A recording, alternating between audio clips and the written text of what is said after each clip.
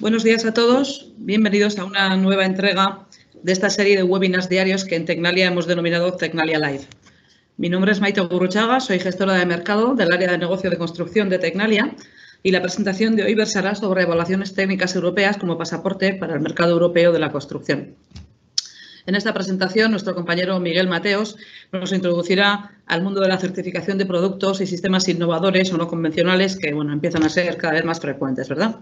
Miguel es el responsable de lo que en Tecnalia conocemos como Innovation and Conformity Assessment Point y tiene ya bueno, una amplia trayectoria a sus espaldas en el mundo de la certificación de producto. Comentaros que a través del chat que encontraréis en la parte derecha de la pantalla podéis ir lanzando las preguntas que os vayan surgiendo y al finalizar la presentación tendremos una ronda de preguntas para poder resolverlas. Sin más, cuando quieras, Miguel. Hola, buenos días a todos. Bueno, pues como ha dicho Maite, soy Miguel Mateos y me encargo en, Tecnalia de lo que es la gestión de toda la evaluación de, digamos, de productos de construcción innovadores. Eh, nosotros, por un lado, tenemos una, evaluación nacional, que es nuestro Technical Conformity, y por otro lado tenemos pues, lo que es la evaluación técnica europea. ¿no? Tecnalia es organismo designado para la emisión de, este tipo de documentos. Entonces, bueno, un poco la idea en el, día de hoy sería ver eh, un poco el marco general de lo que son las evaluaciones y, todo este tipo de cosas, las evaluaciones de productos de construcción, viendo sobre todo lo que es la evaluación técnica europea. Eh, nos centraremos en sus ventajas, veremos un poco lo que es el proceso para, para la obtención de, de una evaluación técnica europea y eh, acabaremos con un par de ejemplos de trabajos que hemos realizado, bueno, que hemos acabado en, 2019. No, no, quiero aburriros, no vamos a entrar en, mucho detalle, pero sí me gustaría que tuvierais pues eso, una idea general de, cómo es todo, este proceso. Lo primero, eh, la evaluación técnica europea al final está pensada para productos innovadores, o sea que aquí yo creo que tendríamos que hablar un poquito de, lo que es la innovación. ¿no? Y el sector de la construcción realmente yo creo que tiene una cierta fama de, ser un sector poco innovador. La verdad es que trabajamos mucho con soluciones tradicionales, pero sí es cierto, y eso lo vemos en los centros y en los laboratorios, pues que, las empresas innovan, que las empresas desarrollan productos, que, lo que quieren es eh, con esos productos pues pueden ser dar necesidades, respuesta a nuevas necesidades sociales, a nuevas reglamentaciones. Ahora, por ejemplo, tenemos una avalancha de consultas de, qué hacer con el tema de, las superficies y, los virus y, este tipo de cosas. Evidentemente se innova para, mejorar procesos y, el producto, para ser más competitivos. Hay veces que, lo que necesitas son nuevos productos para, para llegar a nuevos nichos y te ves obligado a innovar. Y por supuesto, bueno, pues hay veces que donde nos encontramos temas como ecología o, cosas de este tipo, donde innovar hacia esas vías eh, puede incrementar la, aceptación social del, producto. Al final es una estrategia competitiva de la empresa que lo que intenta es eso, eh, llevar sus, sus, productos y mantener la empresa viva. Al final la innovación mantiene las empresas vivas. ¿Hacia dónde vamos? Bueno, pues aquí se ven un montón de cosas y al final las estrategias van a ser diferentes en función de, qué tipo de productos nos estemos enfrentando. ¿no? es lo mismo, yo que sé, pues una superficie, los productos estructurales de madera, o sea, al final cada, cada producto es un mundo, ¿no? Pero bueno, vemos mucho TICS, vemos mucho tema de, de impresión 3D, materiales activos, nanotecnología, cosas de este tipo incluso productos eh, y prestaciones personalizados, ¿no? que vas a mercados muy nicho, con cosas muy especiales, que sabes que van a tener tiradas cortas, pero que también sabes, perdón, que le he dado lo que no debía, eh, pero también sabes que van a tener una, aceptación. ¿no? Al final, todo esto es un proceso, es un proceso que no estará completo ¿no? Hasta, el, hasta el momento en que no lleguemos al mercado. O sea, el resto serán ideas, serán pájaros y flores, como digo yo, pero si no llegamos al mercado no, sirve para nada. ¿Qué problema nos podemos encontrar ahí? Pues realmente el mercado lo que hace es eh, establecer una barrera a todos los productos innovadores. Digamos que si hemos hecho un proceso de innovación y eh, digamos que, como resultado de ese proceso de innovación podemos tener dos tipos de producto. Un tipo de producto de construcción que ya esté cubierto por una norma, que esté cubierto por una norma de marcado C, con lo cual lo que vamos a hacer es marcar C de ese producto y dirigirnos al mercado sin ningún tipo de problema. O podemos tener un producto innovador que no esté cubierto eh, por ninguna norma y al que el mercado pues, le va a poner pegas. Eh, no es que al producto tradicional no se le pida nada, lo que pasa es que el producto tradicional ha demostrado su adecuación al uso a lo largo del tiempo, pero el producto innovador, pues bueno, eh, al final lo tiene que demostrar y el problema es que lo tiene que demostrar en un espacio muy corto de tiempo, porque si no realmente, pues todo ese labor que has hecho de innovación y toda esa inversión que has hecho no sirve para nada y se queda, y se queda ahí. Entonces, bueno, ¿qué opciones tenemos? Yo veo al menos en el marco, en el marco español, eh, tres posibles opciones. ¿no? Luego también cada país es, diferente. Aquí en, España, digamos que hay gente que con ese producto innovador lo que hace para ir además muy rápido al mercado es eh, elaborar una ficha técnica, identificar por su cuenta los requisitos que puedan ser de aplicación al, producto, sobre todo derivados de, lo que es el código técnico, coger ese producto, llevarlo a un laboratorio de ensayo y ensayar. Esa sería la, forma más rápida, elaborar una ficha técnica que tenga todo el resumen de sus prestaciones, ir con ese resumen y probablemente con esos informes individuales que le ha emitido el laboratorio pues a los prescriptores pues para, conseguir colocar el producto en el mercado. Por otro lado, tendríamos una aprobación nacional. Eh, ¿Cuál es el problema de estas aprobaciones? Bueno, pues al final lo tiene que, emitir un organismo reconocido por el Ministerio. Tecnalia es uno, de ellos. Nosotros tenemos el, Technical Conformity para, para, este tipo de evaluaciones, que al final también va un poco en la misma línea. Identificamos lo que pide el CTE, el código técnico para el producto, eh, definimos una batería de ensayos para demostrar que realmente ese producto funciona y eh, mediante unas auditorías de control de producción en fábrica comprobamos que realmente el producto siempre, siempre se fabrica igual. Problema de esto, pues esto tiene un alcance muy concreto, geográfico. España, estamos comprobando contra el código técnico. Si nos vamos a Francia, si nos vamos a Alemania, tienen sus propios códigos técnicos, probablemente con, con requisitos eh, diferentes. Otra opción que nos encontramos de mayor ámbito geográfico, y es de lo que vamos a hablar hoy, ¿no? pues la evaluación técnica europea, el ETA. Que al final el ETA es un marcado C, es un marcado C voluntario. Eh, lo puede elegir el, fabricante si cree que es interesante para él. Le da una serie de ventajas, las, ventajas que, aporta el marcado C y eh, algunas añadidas y lo que le va a permitir es eso, es esa libre comercialización en, en toda Europa, sobre todo. ¿no? Entonces, bueno, Mm, yo aquí casi os diría, tened cuidado, bueno, tened cuidado, no, tened en cuenta que es marcado C. Eh, aquí ya no nos quedamos con esa batería de ensayos, por ejemplo, que hablábamos con la, ficha técnica, ¿no? Aquí realmente vamos a tener un proceso que está regulado, como cualquier marcado C, con sus ensayos iniciales de tipo, con sus controles de producción en fábrica, con sus sistemas de evaluación, todo este tipo de cosas, ¿no? Bueno, Digamos que nos centramos hoy, por lo menos, en, esta opción, ¿no? la evaluación técnica europea. ¿Qué ventajas tiene, qué ventajas tiene esta, este, esta evaluación? Bueno, lo primero es marcado C.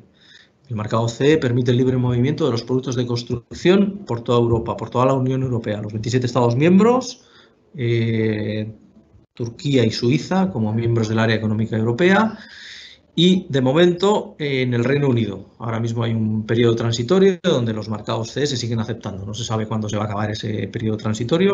no está fijado en, los, en el acuerdo de, Brexit, realmente no está fijado ese fin y de momento se acepta. Lo lógico es que ellos, bueno, de ellos tienen su plan, ir a su propia marca y no se sabe si aceptarán su, su propio marcado británico y no se sabe si aceptarán o no el marcado C. Pero de momento se está aceptando. Entonces, un producto que está marcado C puede ser libremente comercializado en cualquiera de estos productos, en cualquiera de estos países. Eh, hay que tener en cuenta que una cosa es la comercialización y otra cosa es que sea adecuado para el uso. Eso son dos cosas diferentes. Eh, tú lo puedes comercializar, pero puedes ir a un edificio y decirte, oye, aquí necesitamos un nivel eh, pues no sé, pues yo qué sé, por decir algo, de 40 decibelios de aislamiento y tú me estás declarando que tienes 35, ¿vale? Son dos cosas diferentes. Por eso, a la hora de hacer una evaluación técnica europea es muy importante que, el fabricante, el solicitante, tenga claro a qué mercado se va a dirigir y cuáles son los requisitos que tienen esos mercados, porque nos permitirá tener una evaluación técnica europea que realmente le aporte. Vale. Eh, al ser esto una evaluación por tercera parte, donde Al final no es como en esa ficha técnica que veíamos, donde tenemos la ficha técnica que ha fabricado, que ha hecho, que ha elaborado el fabricante y que le ha puesto su sellito y ya está, sino que realmente es un organismo de evaluación técnica reconocido en toda Europa, en el que en un documento que es el ETA, la evaluación técnica europea, bueno, pues resume los requisitos esenciales del producto y las prestaciones para esos requisitos. Eso quieras que no, pues aporta confianza. Es marcado C, o sea, el marcado C, una de sus funciones es armonizar la forma de medir y declarar las prestaciones. No nos va a pasar que vamos a Alemania y que resulta que, pues eso, que tienen un método de medida diferente, un método de ensayo, no. Eh, los métodos van a estar armonizados. Facilita la prescripción también. Eh, nos encontramos cada vez más a menudo con algunos productos donde en los pliegos ya aparece con marcado CE. Es cierto que, la entrada en vigor del Reglamento de Productos de la Construcción y de la directiva sí hizo que en muchos pliegos directamente se le pida marcado CE a todo, sin tener un poco en cuenta si realmente le aplica o no le aplica. Pero también es cierto que en otros productos donde ya hay gente, donde ya hay un suficiente número de empresas, ya hay una cierta masa crítica de empresas con una evaluación técnica europea, si no la tienes, eh, no vas a conseguir entrar en, el mercado o por lo menos te vas a quedar con, temas más residuales, ¿no? porque realmente en los pliegos ya va a aparecer que va a tener que tener el, marcado C. Y evidentemente esto es un tema voluntario. Al ser un tema voluntario, el, hecho de ser el primero o de, ser de los primeros te permite diferenciarte. ¿no? O sea, yo tengo un documento que no tienen los demás y que aporta valor y que realmente eh, pues bueno, pues está trasladando de una forma adecuada las prestaciones de mi producto. Entonces, bueno, estas serían sus, principales ventajas.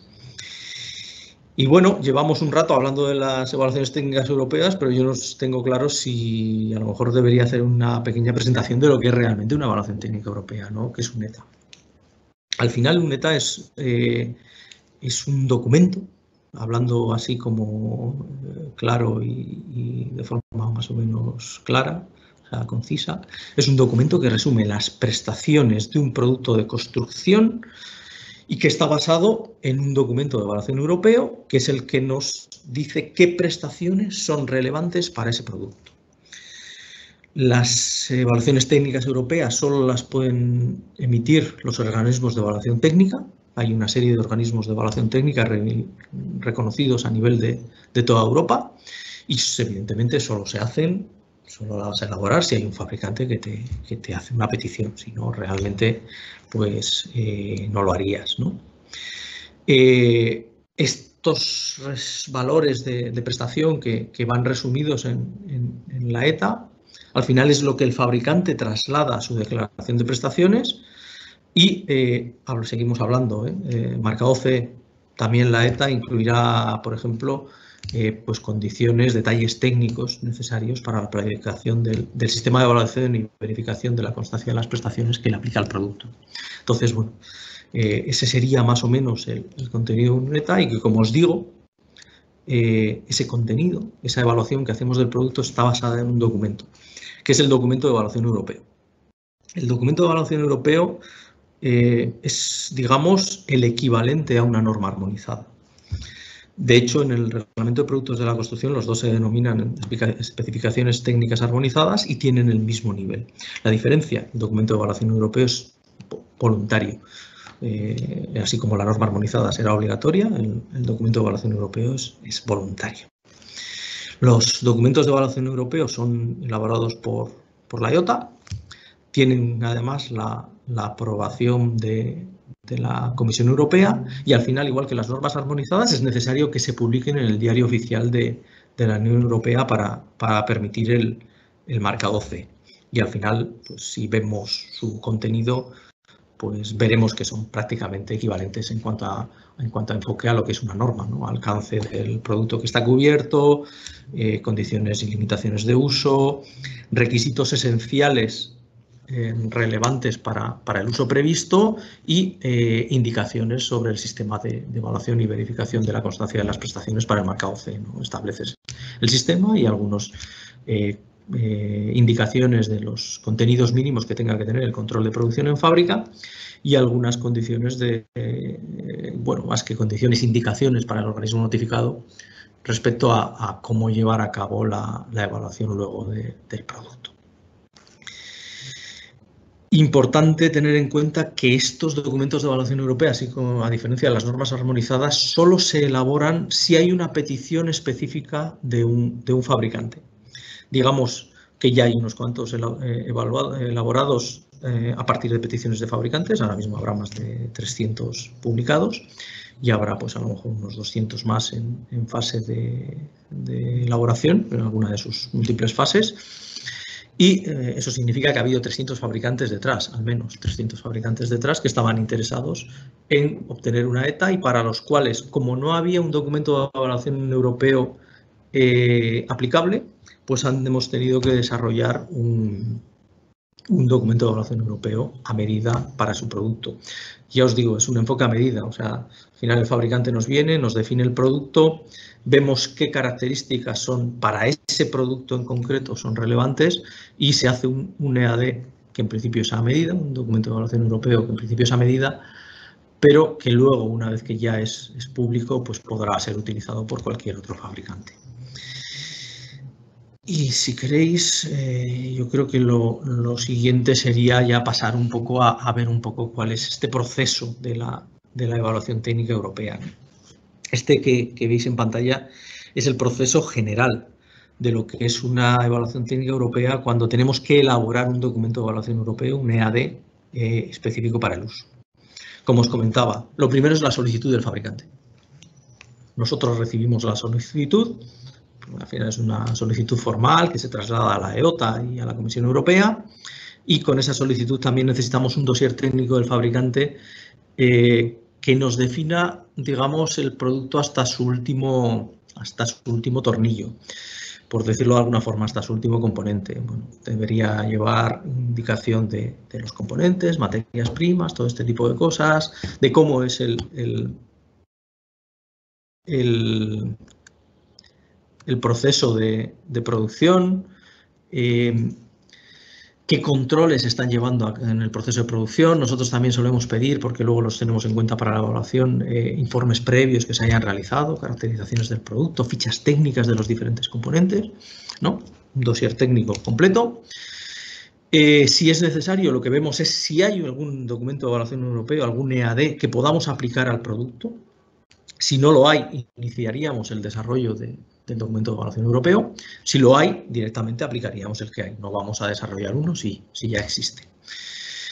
Eh, el proceso de elaboración del documento de evaluación europeo, bueno, pues realmente es un poquito engorroso, es el típico proceso más o menos de eh, normativo de elaboración de normas en el cual vas elaborando borradores que van recibiendo comentarios de los diferentes, de los diferentes miembros hasta, hasta producirse su, su aceptación y que luego este, también comentado por la Comisión Europea y que también te, entrarás en un proceso de comentarios. ¿Qué es lo bueno que tiene este proceso frente a un proceso de elaboración de una norma armonizada? Pues que es relativamente rápido. El reglamento de productos de la construcción fija unos plazos, pues por ejemplo, desde que iniciamos el proceso hasta que se lo enviamos a la Comisión Europea para su aprobación, no pueden pasar más de nueve meses. Entonces, eh, frente a los años que nos podemos llevar con una, con una norma armonizada. Con lo cual, bueno, sí, es un proceso relativamente largo y evidentemente el que quiere, el fabricante que quiere poner el producto en el mercado, pues cualquier periodo le parecerá largo, mientras más corto mejor, pero frente a una norma es bastante más dinámico. Y el hecho de que esté enfocado a un producto más concreto, y nos permite evitar discusiones técnicas interminables porque al final se trata de evaluar ese producto concreto, con lo cual eh, podemos, podemos centrar bastante lo que es el trabajo. Una vez que ya tenemos el EAD, bien porque lo hayamos elaborado o bien porque, porque existiese uno, porque tenemos un producto que es más o menos similar o evaluable con, con los EADs que ya existen, pues pasaríamos a lo que nosotros llamamos plan de evaluación, ¿no? elaborar el plan de evaluación. El plan de evaluación no es nada más que coger esos requisitos esenciales y esas condiciones de ensayo que nos está diciendo el documento de evaluación europeo y cruzarlo con ese dossier técnico que nos ha pasado el fabricante, ese dossier técnico completo. Y decidir qué ensayos se van a realizar. Eh, esto para algunos productos es muy fácil, para otros es bastante complejo. ¿Por qué? Porque lo que queremos es hacer el menor número de ensayos posibles Entonces, hay veces que eh, tenemos que entrar a definir cuál es el producto más desfavorable, cuál es la combinación más desfavorable, cuando tenemos una gama de producto, por ejemplo, que queremos que vaya en la, evaluación técnica europea. Entonces, tenemos que entrar a definir cuál es más desfavorable para ensayar ese producto. Hay veces que cuando tienes una gama, pues a lo mejor tienes que ensayar, pues no sé, el, de menor, el de mayor y el intermedio.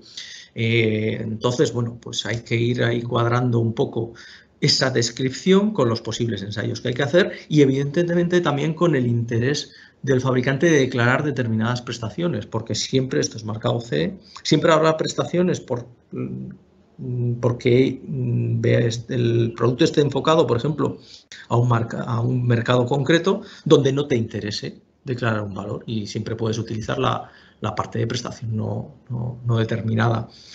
O eh, la existencia de, ensayos previos. Eh, podemos tener informes de ensayos previos de, laboratorios acreditados donde podamos coger, evaluarlos y decir, oye, pues este ensayo no es necesario repetirlo porque fíjate qué ensayo tienes con un resultado que es adecuado, vemos que la muestra está bien trazada, lo vamos a tomar este valor. Todo eso es básicamente lo que definimos en el plan de evaluación y evidentemente en cada ensayo, en cada ensayo, pues lo que hacemos es eh, definir qué probetas se van a ensayar, tamaños, montajes, todo este tipo de cosas. Una vez que tenemos eso, lo siguiente que haríamos sería, bueno, si es necesario, una toma de muestras, eh, que eso ya entraría incluso dentro de lo que son las, tareas de, evaluación y verificación de la constancia de las prestaciones, pero bueno, haríamos la toma de muestras y eh, iría y pasaríamos a la parte de ensayos. El fabricante prepara el producto, prepara las muestras, ensayamos. Podemos ensayar aquí en Tecnalia, en determinados casos ensayaremos en otros laboratorios porque bueno, tenemos muchas capacidades, pero no tenemos unas capacidades infinitas y siempre hay algún ensayo que no podemos hacer, pues por lo cual pues se subcontratarían o, lo que sea necesario.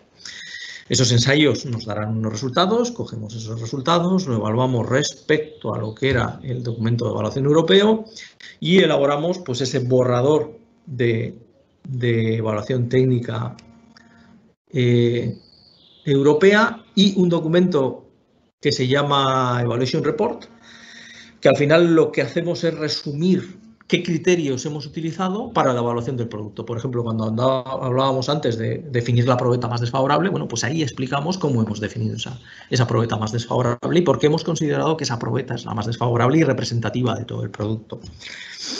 Entonces, esos dos documentos son, eh, bueno, se elaboran en inglés y se circulan a toda, la, a toda la EOTA. La EOTA es la organización que engloba a todos los organismos que podemos emitir ETAs.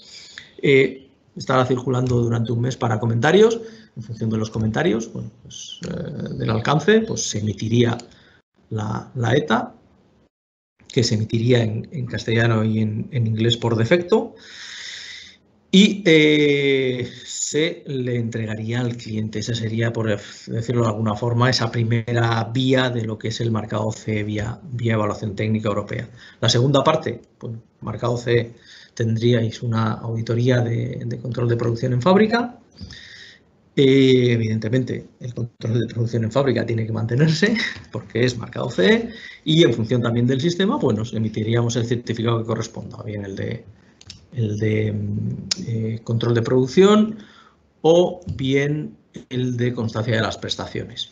Una vez que tenemos las dos cosas, el fabricante ya puede, bueno, una vez que tenemos las dos cosas, una vez que se ha emitido la ETA, perdón, me he saltado un paso, una vez que se ha emitido la ETA, se comunica a la Comisión Europea que se ha emitido esa primera ETA y la ETA publica en el diario, la Comisión Europea publica en el diario oficial de la Unión Europea la referencia al documento de evaluación europeo. Una vez que está publicado, con el ETA y el certificado, el fabricante ya puede marcarse ya podría comercializar libremente el producto en, cualquier lugar de, la Unión Europea. Antes de eso, porque a veces este proceso se, dilata, ahora mismo hay una especie de parón, por decirlo de alguna forma, en lo que es la, la, citación de documentos en el Diario Oficial de la Unión Europea. Estaba prevista la, la siguiente, se publicó en abril más o menos del año pasado, había una prevista ahora para abril de, de 2019 y evidentemente pues todo esto del COVID ha afectado y estamos esperando una nueva publicación que sería ahora en, junio. Pero bueno, en principio los plazos, por lo menos en el fabricante a partir de, que nosotros emitimos el ETA ya tiene el ETA y la verdad es que en, muchos mercados casi se reconoce más el ETA que, el marcado C. Y este sería más o menos el, proceso. O sea, al final el fabricante lo que obtiene son, digamos, tres documentos. El ETA con el resumen de todas sus prestaciones, un certificado para el marcado C y el propio marcado C. Y si os parece, podemos pasar a ver un par de productos, un par de ejemplos de, trabajos que hemos hecho ahora aquí en, 2019, que ha realizado Tecnalia, de, evaluaciones técnicas europeas. La primera, pues la primera es un, sellado de juntas lineales para eh, protección contra, contra incendio. La empresa es una empresa italiana, la F-System, eh, aquí la evaluación se realiza frente a un EAD e que ya existe, que es el 350141 de, de juntas lineales. La diferencia de esta junta lineal, que, bueno, más o menos la tenéis ahí en, un render, es eh, su posibilidad de movimiento, con lo cual tiene una, una, prestación sísmica, ¿no? O sea, permite, se puede aplicar en juntas con, con movimiento. Entonces, aquí a la hora de evaluar el producto hemos seguido más o menos el proceso que habéis visto antes. El fabricante nos envió un, dossier técnico, comprobamos que el producto ya estaba cubierto por este AD, porque este AD, aunque habla en su título de juntas lineales, eh, realmente incluye las juntas lineales con movimiento. Entonces, los tipos de producto, los tipos de materiales estaban ya cubiertos. Entonces, lo que vimos es realmente qué requisitos esenciales le aplicaban al producto, el fabricante se decantó por, por declarar principalmente todo lo que es resistencia al fuego del producto, evidentemente, que es la, parte más importante. La durabilidad del producto también se ha evaluado y eh, sí, esas, esas, esas, características. Por ejemplo, hay otras características eh, que podrían aplicarle, emisión de sustancias peligrosas al ambiente interior y tal. Al final es marcado C, el fabricante ha decidido que en los mercados a los que se está dirigiendo no se lo piden y eh, pues se ha dejado como, como prestación no, no, determinada. Este sería uno. Vale, me dejo una cosa. Esto, como os comentaba, es marcado C.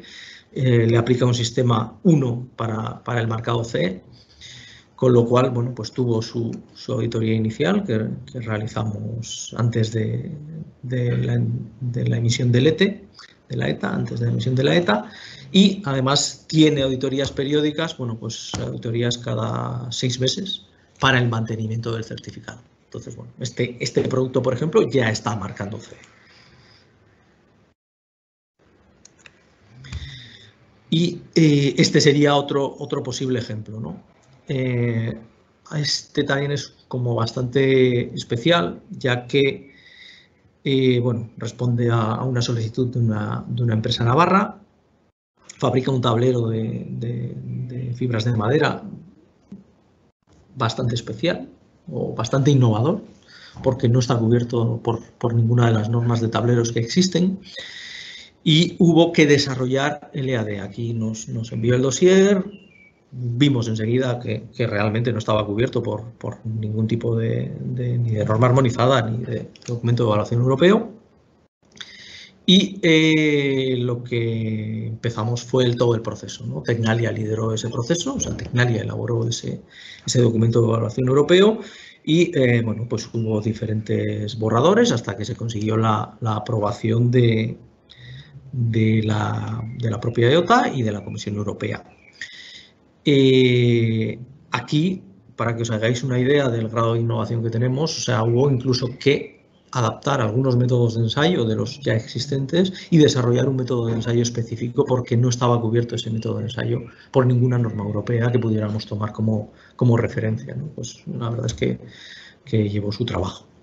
Entonces, eh, esto es un, tablero de madera con, función estructural y aquí, por ejemplo, las características relevantes, pues la verdad es que, son muchos, ¿no? Pues, toda la prestación, digamos, de, resistencia mecánica del producto, con lo que puedan ser pues, ensayos pues no sé, a cizalla, de flexión, de compresión y además como estamos trabajando con, fibras orientadas, pues en, eh, hay que determinar las características tanto en una dirección de la fibra como, como en la otra dirección de la, perpendicular a lo que es la orientación de la fibra eh, y, estamos tratando con elementos que pueden estar tratados con inifugante o sin inifugante, con lo cual, bueno, la batería de ensayos la verdad es que fue muy importante. Y todas estas caracterizaciones mecánicas, generalmente, pues para obtener el valor característico, además te, te exigen ensayar un buen número de probetas para tener un valor, eh, un valor característico. ¿no?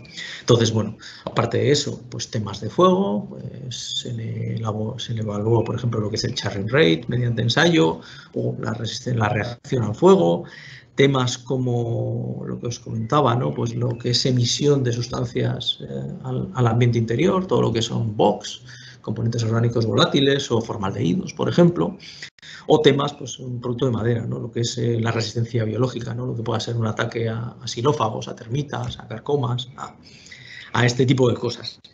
Entonces, bueno, eh, se hizo toda la evaluación, todos los ensayos, algunos los hicimos aquí, algunos hubo que, subcontratarlo por lo que os comentaba, pues que realmente no, no somos capaces de cubrir toda la, toda la tipología de ensayos, pero bueno, se lo gestionamos nosotros al fabricante y se emitió en su momento, bueno, pues se emitió la, evaluación técnica europea. Eh, ahora mismo estamos pendientes eh, de la publicación en el Diario Oficial de la Unión Europea de lo que es este, este que hemos hecho para, para, el producto. Y creemos, bueno, pues la, comunicación de la Comisión es que saldrá en este, este nuevo lote que, que, a finales de junio se publicará y entonces a partir de ese momento, porque ya hicimos lo que son las, las auditorías iniciales de, la producción de esta empresa, que es un sistema 1, con lo cual bueno, pues va a tener auditorías periódicas. ya hicimos la inicial. En el momento en que se publique, pues emitiremos el, certificado de, de, constancia de las prestaciones y con el ETA el fabricante podrá marcar C. Él lo tiene claro, está dirigiéndose a mercados donde le están pidiendo el mercado C, están trabajando sobre todo con mercados centroeuropeos y del norte de Europa, donde hay mucha tradición de, mercado de, trabajo con madera y le están pidiendo el mercado C. Entonces, pues aquí estamos un poco a la espera de, esa publicación. Estos serían más o menos los, dos ejemplos que tenía para, mostraros. Y ya un poco para, para acabar, pues eh, quería, bueno, pues un poco resumiros, ¿no? Pues al final, eh, ¿qué tenemos? No sé, nosotros como centro tecnológico lo vemos así, ¿no? O sea, las soluciones, los productos de construcción tienen que innovar, ¿no? Y, y, si te quieres mantener en el mercado, es evidente que tus productos tienen que ir innovando. Y si quieres aportarles valor, tus productos tienen que ir innovando, si no nos, nos vamos a quedar atrás. Esas barreras que se pueden encontrar estos productos innovadores eh, realmente nos las podríamos eh, evitar eh, utilizando cosas como lo que son las vías del mercado C con la evaluación técnica europea, la cual pues nos va a dar un, acceso a un mercado, a todo el mercado de la Unión Europea. No lo he comentado antes, pero es cierto que además eh, las evaluaciones técnicas europeas, aunque no tienen un reconocimiento oficial, sí tienen un cierto reconocimiento en otros países. Eh, en otros países, por ejemplo, en Estados Unidos, todo el tema de anclajes, o en Australia, todo el tema de anclajes, por ejemplo, con la, que era la ETAC 001, pues realmente tienen un reconocimiento prácticamente. Y en Sudamérica también están bastante, bastante aceptadas, aunque no oficialmente. ¿no? Eh, lo bueno que tiene este proceso es que en un momento determinado es un proceso que se puede hacer a medida. O sea, con ese AD podemos hacer un, proceso a medida para, evaluar esas características innovadoras. Y eh, una vez que lo tienes, pues este marcado la verdad es que te permite una diferenciación muy clara frente a la competencia y un posicionamiento que te va a abarcar todo ese, todo ese mercado europeo. Y que además, al estar hecho por un organismo reconocido, por un organismo como Tecnania, pues reconocido por toda Europa, eh, pues la verdad es que genera mucha confianza en lo que estás transmitiendo. ¿no? Cuando tú vas con, con un ETA y con unas prestaciones en ese ETA, pues generalmente no, bueno, no deberían ponerte ninguna pega porque realmente pues ha estado evaluado dentro de un marco de, confianza que te genera bueno, pues el organismo habilitado, el organismo designado y todo ese paraguas de la, de la organización, la EOTA, la organización de organismos donde se emiten este tipo de documentos. Y esto es un poco lo que, lo que os quería comentar sobre, sobre este proceso. Yo creo que, eh, no sé si ha habido preguntas, pero voy a dar paso a, a mi compañera Maite, que las estaba recopilando. Entonces, bueno, pues a ver si, si ha habido preguntas, bueno, pues nos volvemos a ver ahora y, y os las voy, y os las voy, y os, os las voy contestando.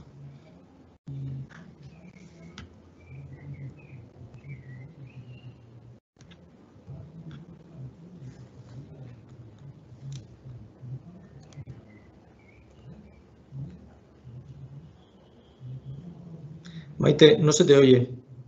Micro. Gracias, Miguel. Gracias, Miguel. Antes de dar paso a las preguntas, quería comentaros simplemente que subiremos esta presentación al canal de YouTube de Tecnalia y a los asistentes os enviaremos un email con el enlace para poder acceder a ella. Y bueno, damos paso ya a la primera pregunta, que dice así. En el marco de la comunidad CE, quiere decir, CE entiendo que quiere decir eh, Comisión Europea, con un ETA, además de Tecnalia, ¿qué hace el ETA? ¿Tiene que participar un organismo notificado?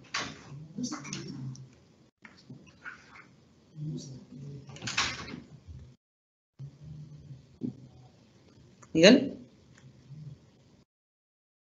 Micrófono. Micrófono. Sí, eh, importante. Importante. Yo te echaba antes a ti la bronca por no haberlo conectado y ahora era yo el que no lo había conectado.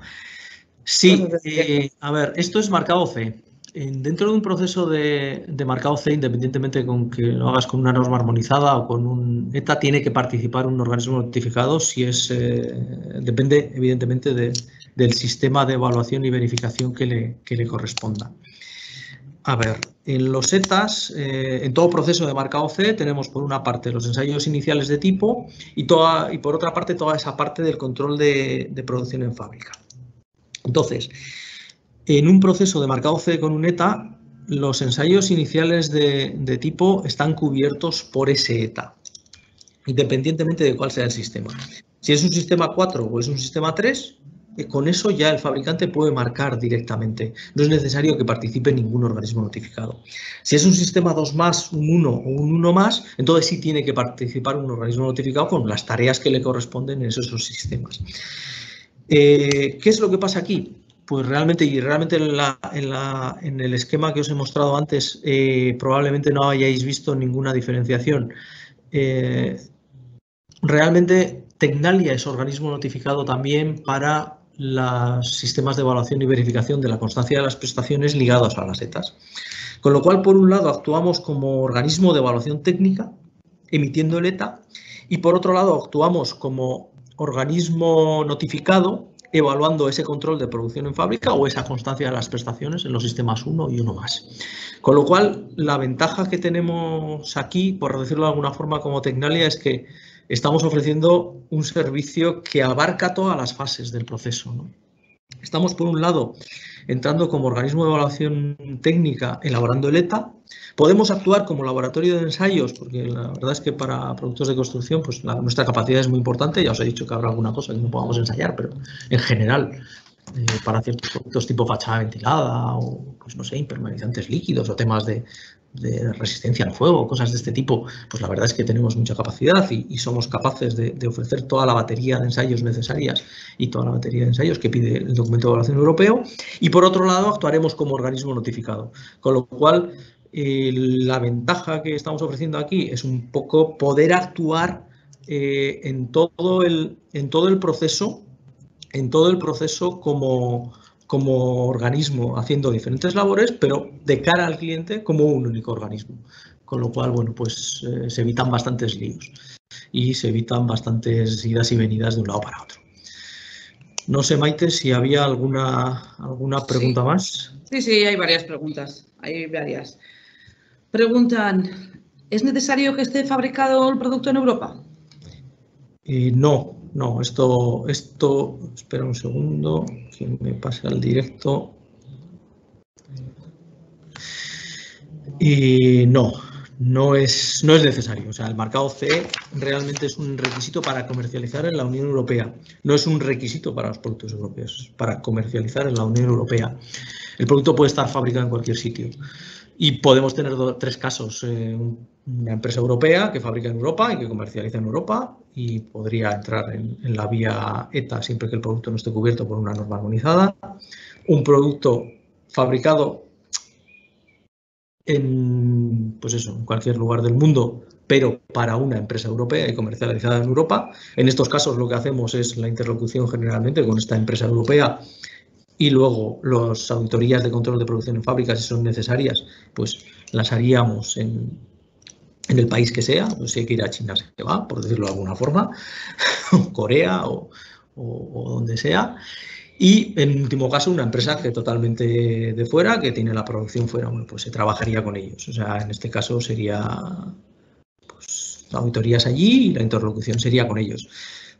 Y luego se les daría el marcado C y podría comercializar en Europa, pero no es un requisito que el producto esté, esté fabricado aquí.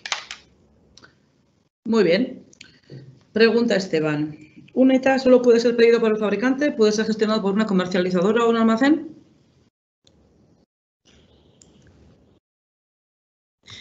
El reglamento de productos de la construcción establece eh, dos figuras, por así decirlo, principales que pueden tener el ETA. Al final puede ser un fabricante o puede ser un representante autorizado del fabricante. Si el almacén es un representante autorizado del fabricante, pues no habría ningún problema en que el ETA estuviera a su nombre. Hay que tener en cuenta que estamos hablando de fabricación, con lo cual eh, tiene que haber unos controles sobre ese producto que generalmente serán llevados a cabo en fabricación. Puede estar a nombre de un almacén, pero en algún momento habrá que estar comprobando que esa fabricación se está produciendo de una forma adecuada y tendrá sus auditorías y tendrá todos sus, controles. Pero en principio, ya te digo, el reglamento de productos de la construcción permite, habla de fabricantes, de representantes autorizados, distribuidores, con lo cual en principio el hecho de que fuese un almacén no sería, no sería el problema. De acuerdo.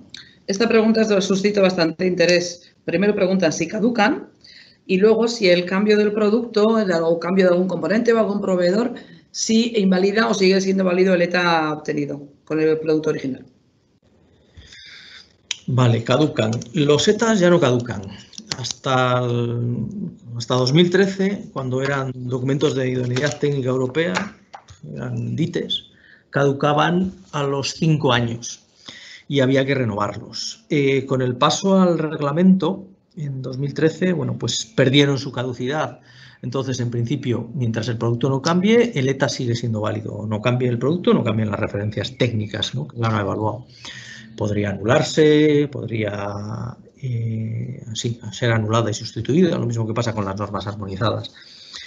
Eh, en, el principio, pues eso, una vez que lo tienes, si lo mantienes, pues no habría, si mantienes el producto con las mismas condiciones de fabricación y los, componentes y todo esto, pues no habría problemas. Eh, cambio de los componentes. Este tema ya es un... Aquí me temo que voy a tener que responder con un depende, todo depende. Eh, depende de cuáles sean esos cambios, cómo estén definidos los componentes en, el ETA. Por ejemplo, si hablamos de SATES, es muy eh, común definir componentes, por ejemplo, lo que es el aislante, eh, definir componentes respecto a las prestaciones que da el aislante. Entonces, pues yo qué sé, pues das un valor de conductividad térmica, das un valor pues, de resistencia a tracción, das, entonces tú podrías cambiar el aislante dentro de un aislante que sea de la misma familia, evidentemente no nos vamos a pasar de lana mineral o EPS, podrías cambiar de proveedor de aislante siempre y cuando las características que está proporcionando sean similares o mejores a las que tenía recogidos en el ETE. Eh, otros cambios, pues otros cambios depende cómo, cómo, también cómo vayan a afectar. Eh, digamos, que eh, un cierto, una cierta libertad de, cambiar ciertos componentes, lo que os comentaba, siempre y cuando estén definidos por características, siempre se, pueda, siempre se puede tener. Y luego ya, desde luego, si, si has definido el componente, pues por ejemplo, por referencia a, una determinada referencia de producto de un determinado fabricante, pues realmente te estás atando a esa referencia de ese producto. Por eso en muchos casos, siempre que se puede, pues lo que os comentaba, por ejemplo, ¿no? el caso más típico que es el de los aislantes en SATE, lo que se busca para dejar una cierta libertad y para no atarte a un determinado proveedor es una definición por características que generalmente pues serán las de las de marca OC con unos valores mínimos que tiene que cumplir esa, ese, ese componente. ¿no? Y dentro de, de, esos valores mínimos se podrían, siempre que se cumplan esos valores mínimos, se podrían hacer cambios. Muy bien, seguimos, que se está animando el debate, tengo, debo decirlo. Voy a unir dos preguntas en una porque están bastante relacionadas. Pregunta Pablo si los ensayos son genéricos para toda Europa o los define cada país. Y pregunta Carlos si pueden pedirle en un país como requisito obligatorio un ETA. Vale. En principio, los métodos de ensayo que aparecen en el ETA están armonizados. O sea, todos los países han aceptado esos métodos de ensayo. Y excepto en un caso eh, muy específico, eh, solo aparece un método, generalmente son normas EN, que pues, están reconocidas pues en toda Europa y solo aparece un método de ensayo. No aparecen métodos de ensayo de cada uno de los países. Hay una excepción que es el tema de la propagación de fuego en fachada ligera, por ejemplo, donde eh, pues no se ha llegado a un acuerdo todavía de un método armonizado, aunque sí se está trabajando en ello, y como es una característica que afecta a la seguridad y que se ha visto, pues ahí está Grenfell y, unos cuantos incendios más, desgraciadamente, que han afectado a fachadas y que tienen mucha importancia y que han generado muchas víctimas, pues la comisión pidió que se incluyese eh, los diferentes métodos nacionales. Entonces, si vas a algún país en concreto, deberías ensayar con, con ese método nacional. Entonces, bueno, tal vez sea el único caso, pero en el resto de casos, eh, ya os digo, se utiliza siempre la norma EN o un método de ensayo que se desarrolla en el, documento de evaluación europeo, como si fuese una norma de ensayo, indicando qué probeta, qué parámetros de tiempo, qué fuerzas, qué lo que sea, la estás desarrollando para que todos apliquemos el mismo método y luego eh, armonizamos lo que es la, la eh, la, expresión de la prestación, por decirlo de alguna forma. Eh, el documento de evaluación europeo te va a decir, no, y esto van a ser, yo qué sé, miligramos por litro o van a ser kilos por metro cuadrado. No vas a decir gramos por no sé qué, no, o pascales o tal, no, van a ser kilos metro cuadrado. Para que todos hablemos igual, para que realmente la prestación y cómo se establece esa prestación esté armonizada. Y aquí, Maite, te tengo que pedir, ¿cuál era la segunda parte de la pregunta? Sí, puede ser obligatorio. Vale. Sí, eh, en general, el ETA es voluntario, el marcado C vía ETA es voluntario, excepto algunas excepciones de algún caso de algún país donde para determinadas familias de productos, en su código técnico del país, independientemente de que seas un fabricante de allí o seas un fabricante de fuera, ha establecido la necesidad de o que bien pases por un NETA o bien pases por una aprobación nacional. Eh, Polonia, por ejemplo, es un caso de esos. Entonces, tú puedes ir allí, no llevar ningún documento y decirte, no, perdona, pero para comercializarlo necesitas, para colocarlo en los edificios, necesitas un NETA. Vale, pero es una, exigencia que le aplica a, tanto a producto nacional como a producto que venga de fuera. Entonces, bueno, ellos lo tienen en su código técnico. En el código técnico español también en un momento determinado se estuvo estudiando si incluir, por ejemplo, esa exigencia para los productos de, resistencia al fuego. Bueno, luego se desestimó por, diferentes motivos, pero bueno, en principio, los, por ejemplo, Polonia, pues en su momento lo, lo estableció y ahí está recogido en su código técnico como, como requisito. Muy bien. La siguiente pregunta, esta es para nota, Miguel. ¿Qué se puede hacer cuando existe ya un EAD para un producto concreto, pero no incluye alguna de las características que queremos, que querríamos eh, destacar? ¿Se puede adaptar un EAD? Vale.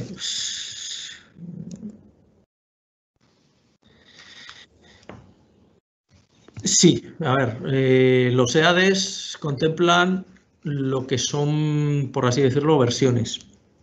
Eh, se puede añadir, si el tema es, eh, por ejemplo, añadir características, pues por ejemplo hemos encontrado un EAD que, tiene una serie de características esenciales porque se hizo pensando en un fabricante con un producto que se hacía con unos componentes determinados y llega alguien con un componente diferente, pues el mismo tipo de producto para la misma función, pero con un componente diferente, eh, que a lo mejor no puede ser evaluado con esos métodos de ensayo o que presenta características o problemas diferentes y, necesita un ensayo diferente, eh, se puede añadir, o sea, se puede modificar. El proceso eh, prácticamente es más sencillo, evidentemente, porque solo estás añadiendo o solo estás cambiando algo.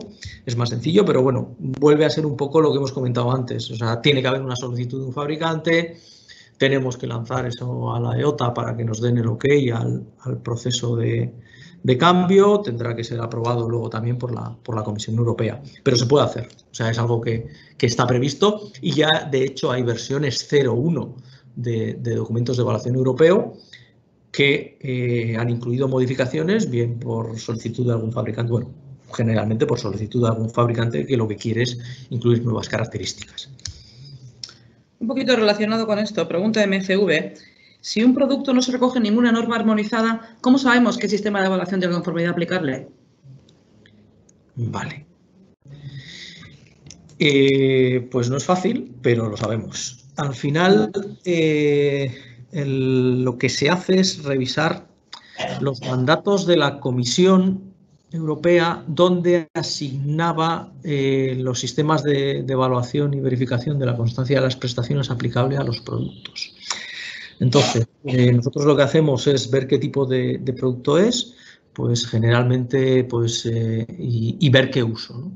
Entonces, pues yo qué sé, tengo lo que comentábamos antes, un tablero de madera, por ejemplo, para el que hemos evaluado, para el que hemos elaborado el EAD. Ese tablero de madera como tal no estaba en, las decisiones de la comisión, en esos mandatos, pero realmente los tableros de madera para uso estructural sí están en las, en las decisiones de la comisión, en los mandatos de la comisión. Entonces establecemos una equivalencia, buscamos establecer una equivalencia entre los productos cubiertos por esos mandatos y el nuevo producto si es posible. Y si es posible, la aplicamos. Evidentemente, lo que comentábamos antes, esto es una de esas cosas que sí mira mucho la comisión, pues que realmente estés aplicando un mandato adecuado. Y el resto de miembros de la EOTA también lo mira, ya os lo digo yo. Eh, pero bueno, se puede establecer a partir de los mandatos existentes una equivalencia. Problema podemos tenerlo en un momento determinado si no existe ningún mandato concreto en el cual podamos encuadrar ese producto. Ahí realmente sí tenemos un problema, porque el problema de, establecer un mandato para, para un producto nuevo, completamente fuera de lo que son los mandatos existentes, bueno, se puede hacer, pero es relativamente lento porque lo tiene que aprobar la comisión, tiene que ser aprobado por todos los países miembros, o sea, hay un proceso ahí muy burocrático y de muchas idas y vueltas y con muchos abogados, la verdad, que llevará su tiempo. Con lo cual, eh, hay veces que incluso en estos casos casi desaconsejamos, a no ser que el fabricante tenga realmente mucho interés en, obtener el marca OC, desaconsejamos ir por estos procedimientos. Pero realmente la mayor parte de los casos lo que hacemos es eh, buscar esa equivalencia entre los mandatos existentes, el uso del producto y el tipo de producto. Y una vez que, tienes eso, lo puedes cuadrar, el proceso de ADR se podría lanzar sin ningún tipo de problema. De acuerdo. Esta pregunta es interesante. ¿Podría servir la evaluación técnica europea en el caso de materiales de construcción de segunda mano para su reutilización en nuevos proyectos con el fin de alargar la vida útil de dichos materiales?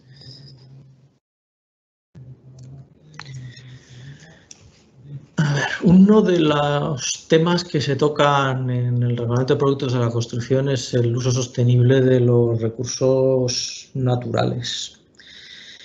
Y dentro de ese uso sostenible de recursos naturales puede entrar todo ese tema de reciclabilidad y reuso y este tipo de cosas. Con lo cual sí son aspectos que se pueden, que se pueden tocar.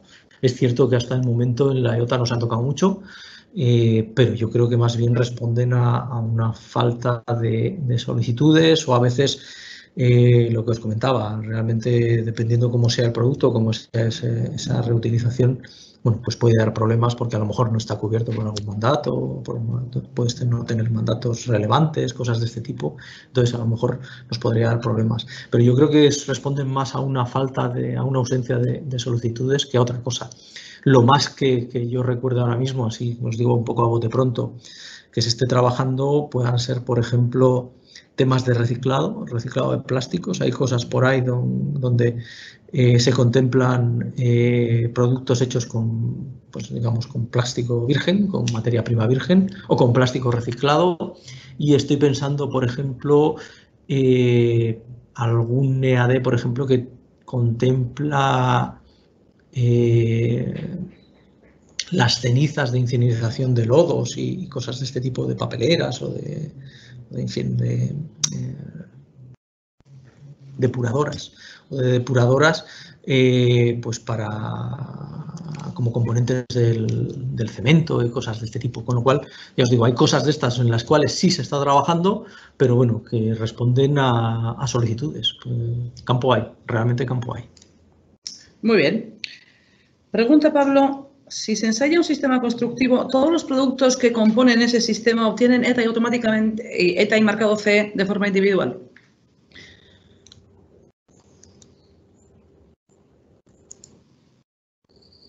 Pues no. a ver, si ensayas, por ejemplo, y, si queréis os vamos a un, ejemplo, si tú ensayas una fachada ventilada, y por poner un ejemplo, que es el típico ejemplo de kit, donde vamos a tener una placa cerámica, por ejemplo, una placa, no voy a decir cerámica, una placa X, un sistema de fijación mecánico, una subestructura, a lo mejor un aislante. Eh, realmente lo que estás marcando C con el ETA es el kit estás marcando todo el kit y lo que comercializas con un marcado C todo es, todo el kit. Sus eh, componentes podrían tener un marcado C en este caso, pero irían a sus especificaciones técnicas específicas. Pues la placa, si es cerámica, irá con, la norma de marcado C de, cerámica, si es un HPL, pues con la norma de marcado C de tableros, eh, pues la norma que le aplique. El aislante, pues con sus normas de aislantes, en función del tipo de aislante que sea. Las fijaciones mecánicas, bueno, pues realmente hay un EAD para marcarlo. Existe una posibilidad eh, y es que el EAD esté desarrollado de tal forma que permita marcar el kit y los componentes. Hay EADs que se han desarrollado así a solicitud del fabricante, eh, en el cual, bueno, pues realmente lo que vas a tener es una serie de características que son relevantes para el kit y con las cuales marcarás CE, una serie de características que eh, son relevantes pues, para, pues para el componente 1 y tendrás que caracterizarlo para el componente 1 y podrás marcar C el componente 1. Pero ya os digo, son casos muy específicos de, de EADs en los, que, en los cuales en su momento se desarrollaron de ese tipo, porque el fabricante estaba interesado en tener un marcado C de cada uno de los componentes. Evidentemente, si uno de los componentes ya está cubierto por una norma armonizada, eh, no podría incluirse esa evaluación de ese componente eh, con unas características tal, tal, tal, con un ETA. Realmente tendría que aplicarse el marcado C. O sea, si yo en mi, en mi sistema meto un aislante, ese aislante no lo voy a marcar nunca vía ETA. O sea, realmente lo voy a marcar según la norma EN que le aplique por la familia de aislantes que sea, pues un EPS, una lana mineral, lo que sea. bueno, vamos a ir terminando. Más. Esta va a ser la penúltima. Pregunta, ¿qué diferencia habría entre este sistema y el marcado CE según 1090 y con la autocertificación CE? Sé si podemos compararlo con un caso concreto de la 1090. El marcado CE por la 1090 es un marcado CE de un tipo de producto específico que son las estructuras metálicas. Eso es.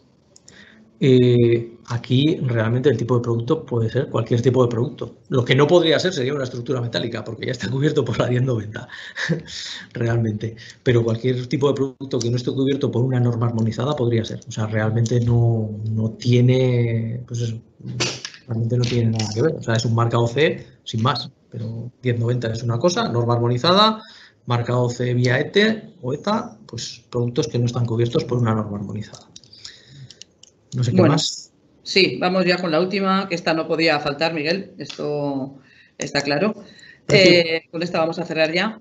Me preguntan por la duración, por el plazo, hemos dicho todo el proceso, eh, bueno, pues, lógicamente la duración es más o menos como cuánto podrían ir y asumen que el coste va a ser elevado.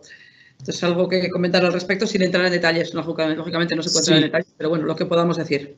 Plazos. A ver, todo depende un poco, mm, digamos que depende de tres cosas. Los plazos dependen de cuatro cosas, perdón. Primero, que sea necesario elaborar un EAD o no sea necesario. Eh, si es necesario, podemos estar hablando para elaborar ese EAD y ya lo siento, de plazos que vayan pues a lo mejor del orden de, un año. el reglamento de productos de la construcción fija en, tres, en nueve meses, como os he comentado antes, la duración del proceso hasta que se lo entregas a la Comisión Europea y luego la Comisión Europea eh, tiene que hacer comentarios y tal. Entonces, eh, dependiendo del calado de esos comentarios, puede dar lugar a algún otro borrador. Entonces, eh, digamos que en nueve meses realmente se puede hacer, pero bueno, nos podríamos ir más allá.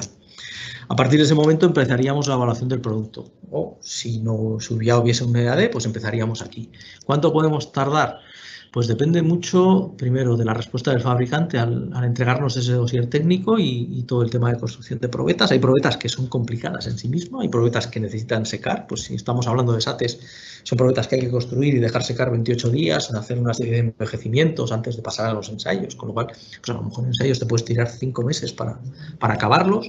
Con lo cual también nos podemos estar yendo a un proceso más o menos normal, podríamos estar hablando entre nueve, meses y un año.